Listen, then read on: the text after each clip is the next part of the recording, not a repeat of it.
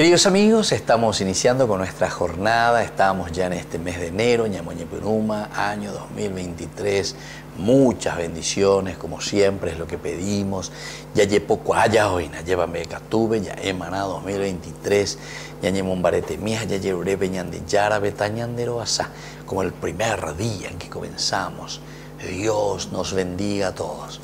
Y hoy escuchamos de la primera carta de San Juan, capítulo 3, versículos 7 al 10. Hijos míos, que nadie los engañe. El que practica la justicia es justo, como Dios mismo es justo.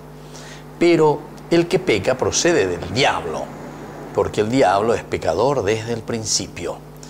Y el Hijo de Dios se manifestó para destruir las obras del diablo.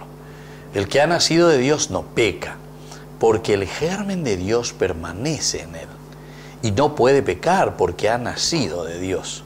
Los hijos de Dios y los hijos del diablo se manifiestan en esto. El que no practica la justicia no es de Dios, ni tampoco el que no ama a su hermano.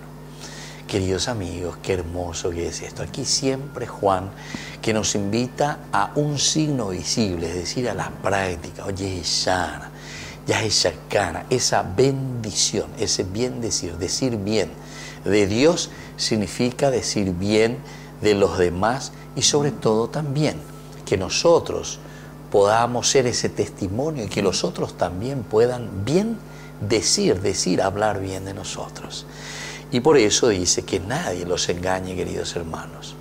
Hay muchas mentiras y hay muchas formas de engañar a las personas y hay muchas formas queridos hermanos, como el mal está trabajando. El diabolos, el diablo, el que divide.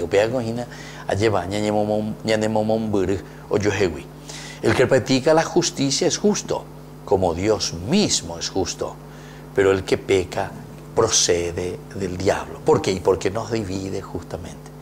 Queridos amigos, pidamos esa gracia. Peñandillara lleva. Tombo hasañan de peipombo siempre es decir, que nos dé esa salvación que nosotros queremos y necesitamos. Y que la bendición de Dios descienda sobre todos ustedes, el Padre y el Hijo y el Espíritu Santo. Amén.